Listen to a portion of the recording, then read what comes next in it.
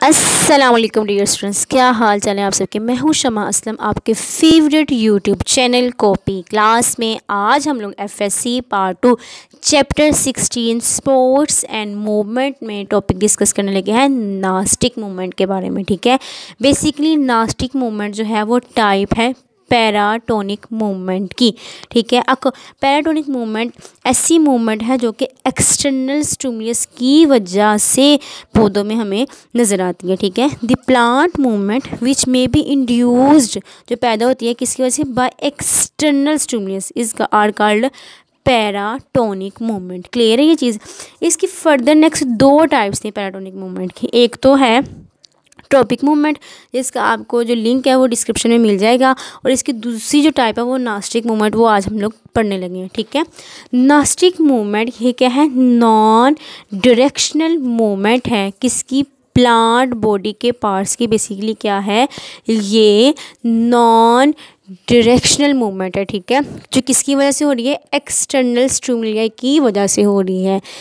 जिसका कोई सिमत का तो अयन नहीं है। Non directional movement of parts of plant body to external stimulus ये किसकी वजह से हो रही है? एक्सटर्नल स्टूमुलस की वजह से प्लांट के बॉडी पार्ट्स में नॉन डायरेक्शनल मूवमेंट हो रही है। क्लियर है ये चीज़? नास्टिक मूवमेंट इसकी फर्दर टाइप्स है जी। एक तो है नॉक्टी नास्टी दूसरी है हाइप्टोनास्टी ठीक है? फ़र्स्ट ऑफ़ ऑल हम लोग इसके बारे में बात करेंगे जो कि है नाक्टी नास्टी एक ऐसी मूवमेंट है जो कि किसकी वजह से होनी है?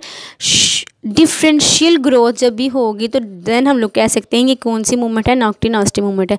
शोन बाय ऑर्गन्स ये ऑर्गन्स में नज़र आती हैं। इन रिस्पॉन्स रद्दमल के नतीजे में टू एक्सटर्नल स्टूमले जिसके नतीजे में क्या होता है? डिफरेंशियल ग्रोथ होती है, ठीक है? ख़ास तौर पर हम लोग को ये फ्लावर्स और लीफ में हमें नज़र आती है, ठीक है? और assume characteristic position in night क्या है? अगर देखिए, रात के वक्त जो हम लोग को ख़ास किस्म की पोजिशन नज़र आती है, वो बेसिकली यही होती है जिसकी वजह से डिफरेंशियल ग्रोथ नज़र आती है। दोबारा अगर मैं पढ़ूँ the nyctinasty movement are shown by organs organs in response to external stimuli leading to differential growth ठीक है?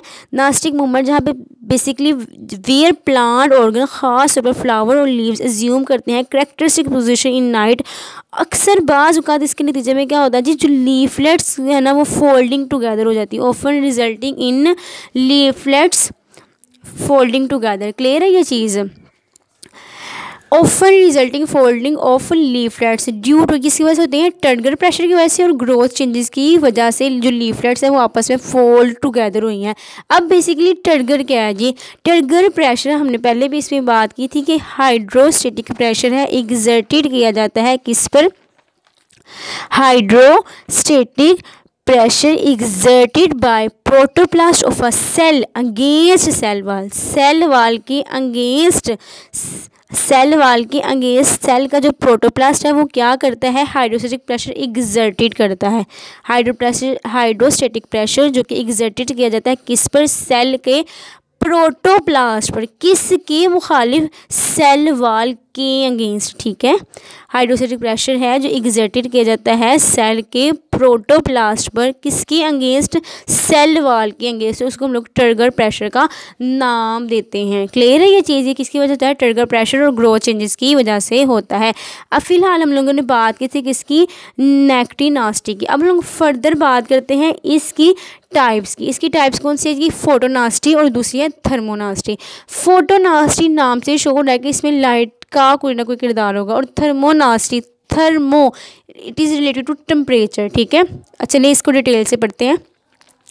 फ़ोटो नास्टी मोमेंट इंड्यूस्ड हुई है। किसकी वजह से? लाइट की इंटेंसिटी में जब तब्दीली रूनुमा हुई है तो उसके नतीजे में क्या हुई है?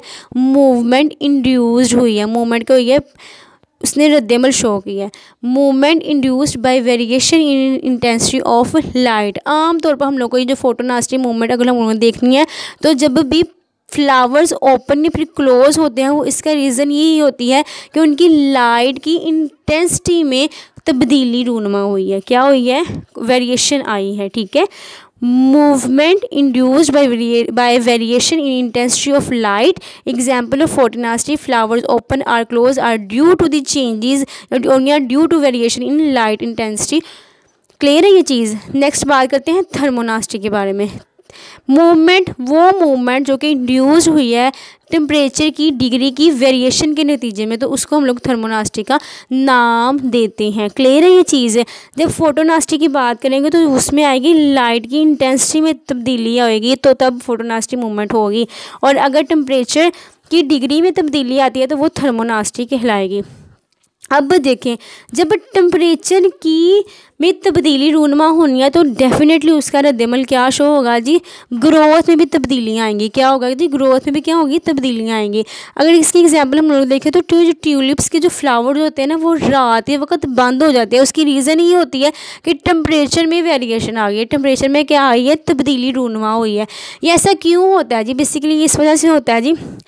रैपड तेज़ी से ग्रोथ हो रही होती है, किस पर लोअर साइड पर किसकी तरफ़? By upward rapid growth of lower side by upward जिसके वजह नतीजे में क्या हो रहा है, होता है, जो पेटल्स की जो बैंडिंग होती है ना, वो इनवर्ड हो जाती है।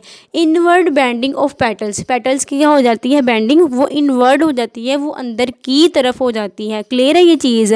अब जो ग्रोथ में जो तब्दीली आई है ना, वो एक्चुअली किसकी वजह से आ रही है? Due to change in temperature जब टेम्परेचर में तब्दीली रूनुमा हुई है तो उसकी ग्रोथ में क्या आई है?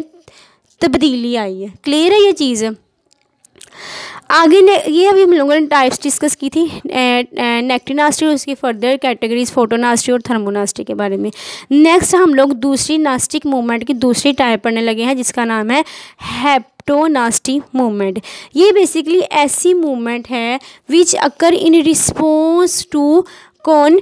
टैक्ट जो किसके नतीजे में हो रही है, जब भी रद्दमल शो होना है किससे कॉन्टैक्ट से? In response to contact nastic movement which occur जो कि हमारे वजूद में आती है या फिर होती है एक्शन शो होता है in response to contact clear है ये चीज़? हम, वो है नास्टिक मूवमेंट थी नॉन डायरेक्शनल मूवमेंट, और ये क्या है? इन रिस्पॉन्स टू कॉन्टैक्ट अगर हम लोगों ने नास्टिक मूवमेंट की एग्जांपल देखनी है तो हम लोगों को, जब वीनियस फ्लाई ट्रैप का जो एक्शन है ना वो बेसिकली रिप्रेजेंट कर रहा है। Action of Venus fly trap का जो एक्शन है, वो रिप्रेजेंट कर रहा होता है किसको? हेप्टोनास्टिक मूवमेंट को। क्लियर है ये चीज़? अच्छा जी, अगर तो इसके बारे में कोई क्वेश्चन पूछना हो तो ज़रूर कमेंट में पूछिएगा। अगर तो वीडियो अच्छी लगी हो तो लाइक करना मत भूलिएगा दुआ में याद रखिएगा। मिलते हैं नेक्स्ट वीडियो में, ठीक है? तब तक दीजिए इजाज़त, अल्लाह हाफिज़।